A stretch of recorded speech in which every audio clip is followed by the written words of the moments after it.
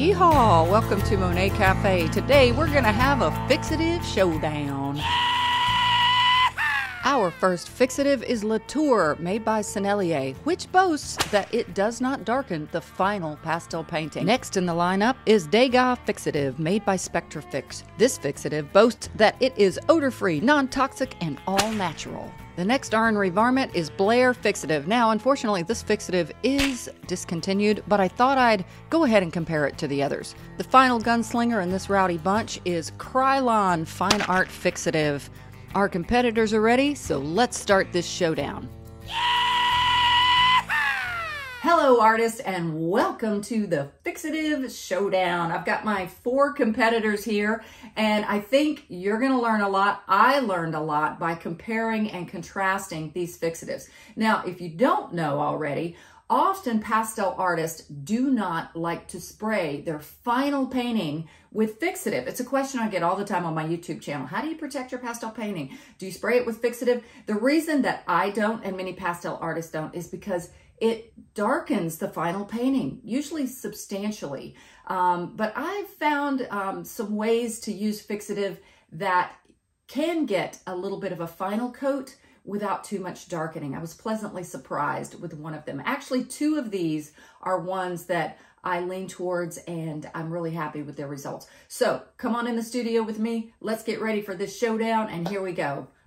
The surface I'm using is Canson Mi-Teintes pastel paper. It is an unsanded pastel paper and this is the Earth Tones pad. For this first demonstration where I'll be testing different fixatives, I'll be using a set of pastels that's made by Girault. It's a French-made pastel. I really like them.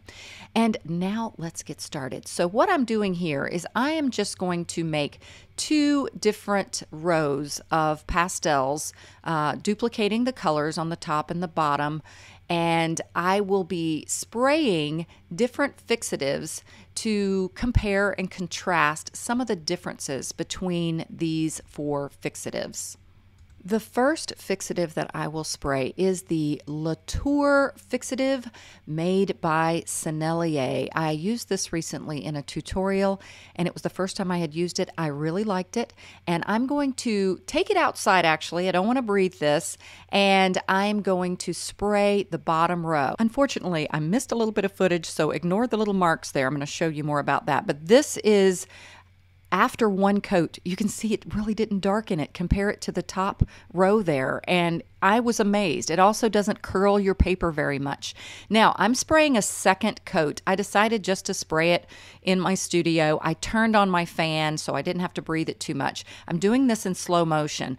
But what I'm doing is doing a second coat in the bottom row. And I think you'll be able to see that when it dries, even after two coats, it's really not much of a change from the top row. That's one of the biggest complaints about fixatives is that it darkens the pastels and I think you'll see when this dries there is minimal darkening. Now watch, you're going to see it when it's dry right now. Look at that. This is after two coats and it's virtually the same as the top row. And now I'd like to give you a little demonstration of why we use fixatives during the working phases of a painting. Again, ignore those other two colors where I had made some marks, then missed the footage. But here what I'm doing is I'm making some marks. This lower one is the one with the fixative. The upper one has no fixative applied. See if you can see the difference between the two. The top one with no fixative is more blended. My marks actually blended the pastel underneath. The bottom one with the Latour fixative literally set or fixed the pastel pastel underneath to be able to apply mark making. That's one of the reasons that we use workable fixative during a painting process. I'm going to do this on a couple more for you to be able to see the differences. Here is the one with no fixative applied. And now let me make some marks on the lower one with the two coats of Latour fixative. Same zigzaggy marks I made, and look, not only does it not blend the pastel underneath, but the mark is much more crisp and fresh. And now I'm going to spray two more fixatives. Remember the top row has not had any fixative sprayed yet. This is the Blair. Again, this is discontinued and I used to use this for my paintings during the working phases, never at the end, but look at how it came out of the can so fast. I totally forgot that it comes out that quickly and it left a big blob on my surface. So you definitely want to keep this can far away when you spray it. It's taking a long time to dry. I think you're probably already seeing the difference from the Latour that I sprayed on the bottom row. Now let's use the Krylon Fine Art fixative. I'm going to spray this on the top row on the other side. And I've got my fan going and actually opened my window so I don't have to breathe all of this. And it came out more smoothly, uh, better than the Blair. Uh, but I still saw a darkening with both of these, a bit more, a color change, more than with the Latour. I think you can see, if you look at the pink specifically, um, see how much lighter it is on the bottom one? That has two coats of Latour uh, versus the um, Krylon at the top. And now let's move on to competitor number four, which is the Spectrafix. It's called Degas Fixative. And I do love that this is odor free, non toxic, all natural. You don't have to worry about breathing it. Uh, still, don't try to breathe it, but I know it's probably not a totally fair comparison, but because the uh, Sennelier Latour didn't darken that bottom row very much, I'm spraying the fixative, uh, the Degas fixative, down there on those uh, pink and red and orange and yellow uh, bottom row. Now, it did come out um, a little more quickly than the Latour. My paper is curling more. It did take longer to dry, but once it dried, that curl did kind of flatten out. And there was a slight darkening. I'm sorry I missed the footage of when it's actually dry, but I'm going to show you a whole example right now using just the Degas fixative. Here is a completed painting I did for my Patreon page for my patrons. And for this painting, I used Pastelmat. It's a professional pastel paper. And this time I'm using the Degas fixative that has the, um, the pump sprayer. I do recommend the first Degas fixative I showed that has the fine mist sprayer.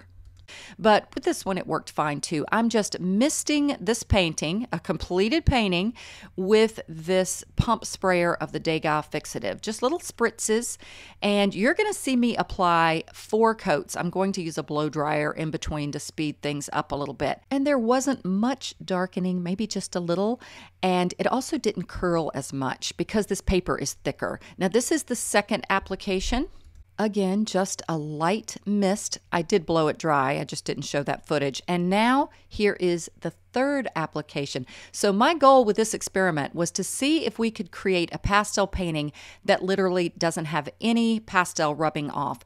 So, at this point, it did still have a little pastel that came off. So I'm going to experiment some more. I'm going to apply a fourth application. I'm just giving a light mist again, and I will blow it dry once more. And just to be safe, I'm going to do a fifth application. And I'm not sure how much you can tell from a video, but it is darkening the painting. Not not really bad though. So I'm going to blow it dry one final time, and here comes my big test. I know that's been a goal for pastel artists. Can we create a pastel painting that we could literally um, maybe just mount and hang on the wall? Well, let's give this one a test. After five applications, I'm just going to rub my hand right across this pastel painting. Nothing blended, and look at my hand no pastels. So that was quite impressive. Now, I did still see a darkening. I still won't spray my final paintings, but I do love this fixative for a fixative to use during the working phases of a painting.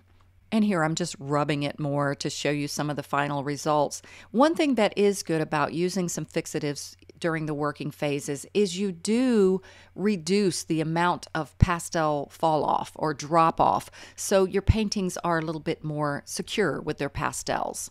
Again, it's like a dream for many pastel artists, including myself, to be able to do something to our pastel paintings to where we could literally just mount them, like um, having a, an acrylic or an oil painting on a canvas on the wall without the need to put them under glass.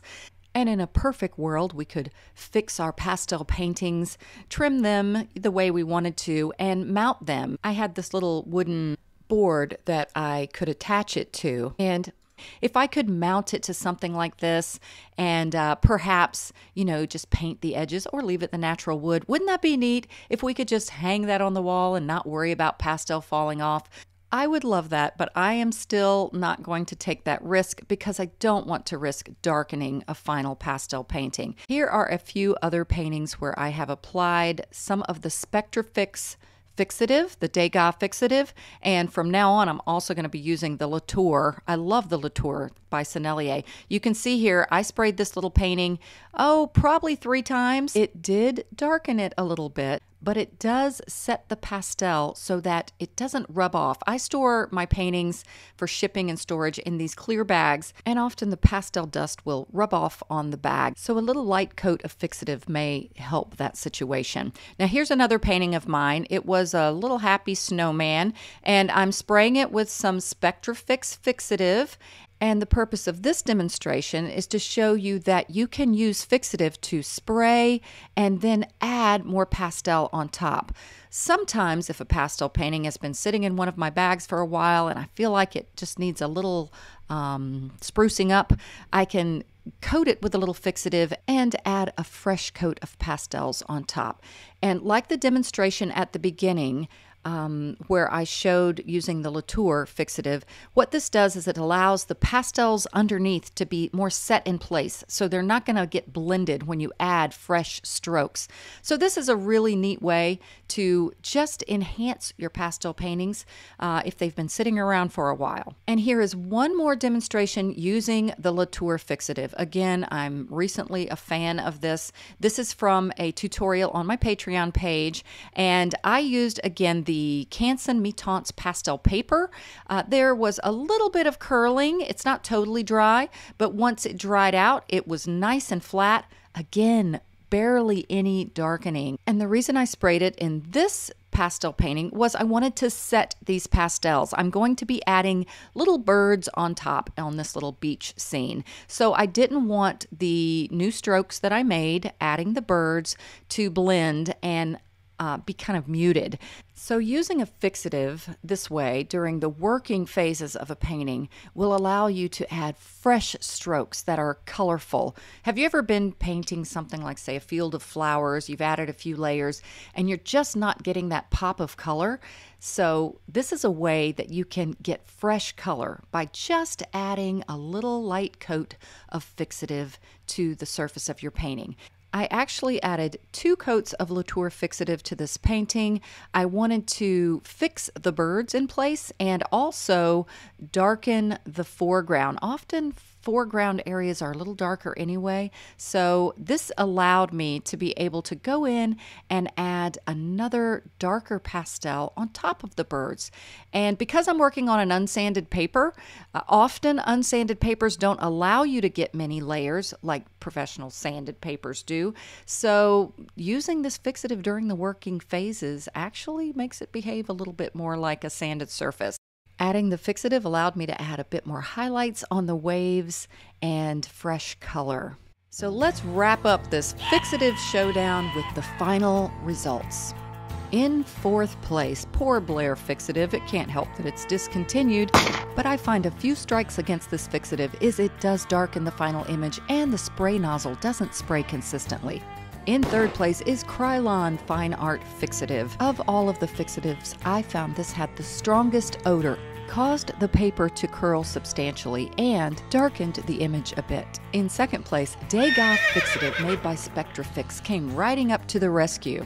What I love about this fixative is it's all natural, odor free, non toxic, and safe to spray indoors. It also had minimal darkening and is great to use during the working phases of a pastel painting. And coming in first place is Latour Fixative made by Sennelier. It was a close call between Degas Fixative and Latour Fixative, but for me, Latour Fixative receives the Gold Sheriff Star mainly because of how little it darkens a pastel painting. A big round of applause for all of the fixatives who participated in this showdown. Let me know what you think, what your favorites are. God bless, happy trails, and happy painting.